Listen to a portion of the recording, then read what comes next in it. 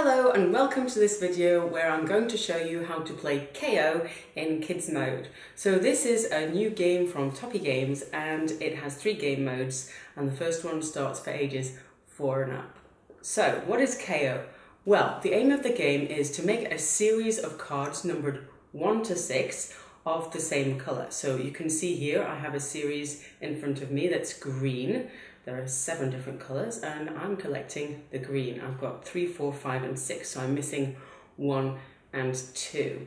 Now, um, there are some special cards that are going to help me do this quicker. So we have the trump cards as well. These are kind of yellow, ready, orange ones. This one's a number trump card, so it can replace the number in my series uh, for a series of any colour. So I could use this um, instead of the green too.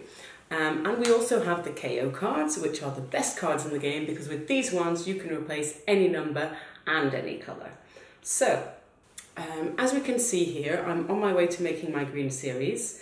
Uh, everybody's going to start with six cards in hand.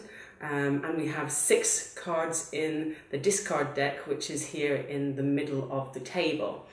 Um, during my turn, I can choose to get rid of as many cards as I want from my hand and pick up the same number of cards from the discard deck here.